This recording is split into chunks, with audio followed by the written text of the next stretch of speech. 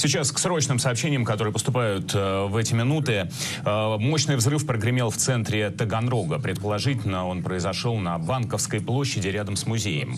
Э, по предварительным данным, несколько человек были ранены. Э, спасатели, они разбирают завалы. Очевидцы сообщают, что взрывной волной во многих домах выбило оконные стекла и публикуют в соцсетях кадры. Внимательно следим за поступающей информацией.